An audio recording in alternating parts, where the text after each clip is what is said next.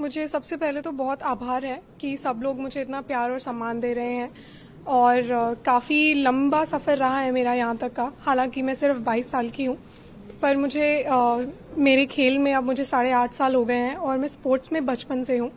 तो I would say कि मेरी बचपन से ही तैयारी थी शायद इसी पल की। और आ, आज जिस तरीके से लोग मुझे प्यार दे रहे हैं मुझे लग रहा है कि वो बहुत हद तक सफल हुआ है। और दूसरी चीज़, आज मुझे यहाँ आकर बहुत बहुत सम्मानित और बहुत बहुत लोगों से प्यार मिला है और सम्मान मिला है। और जैसे कि सर ने बोला कि मैं एक्चुअली इसी फैमिली से भी बिलोंग करती हूँ, क्योंकि मेरे फादर मर्चेंट नेवी में है चीफ इंजीनियर और मेरे सारे टीचर्स जो उस टाइम पे हुआ करते थे समर हॉलीडेज में, वो सारे कोई बत्ती साहब कहते हैं उनको। जो, बत्ती साहब को क्या कहते हैं? ही।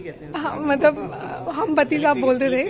तो वो सारे इंजीनियर से ही मैं पढ़ के मतलब स्कूल पास किए हैं मैंने। तो आई थिंक एक बड़ी फैमिली है मेरे लिए और बहुत खुशी होती है कि लोग इतना प्यार देते हैं। जी उस समय तो मैंने सब सोशल मीडिया सब बंद किया हुआ था और उस समय सिर्फ़ एक ही लक्ष्य था कि मेरी परफॉर्मेंस अच्छी होनी चाहिए क्योंकि टोक्यो ओलंपिक्स में ज़्यादा बेहतरीन मैं परफॉर्म नहीं कर पाई थी। मैं वर्ल्ड नंबर वन और world number two world number two थी बट उसके बावजूद भी मैं अच्छा प्रदर्शन नहीं दे पाई थी तो उसका काफ़ी खेत था। तो इस समय बस इतना लक्ष्य था कि अपना बेस्ट देना है, जो सीखा है, उस, वो बेस्ट देना है और रिग्रेट नहीं करना है बाद में।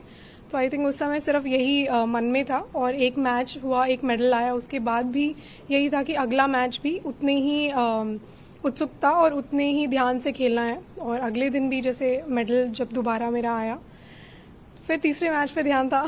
तो आई थिंक uh, मैं बस अपने शूटिंग पे ही uh, ध्यान रखती हूँ ज़्यादा नहीं। पर इंडिया आने के बाद मुझे काफ़ी ज़्यादा लोगों ने प्यार और सम्मान दिया है जिसकी मैं बहुत बहुत आभारी हूँ।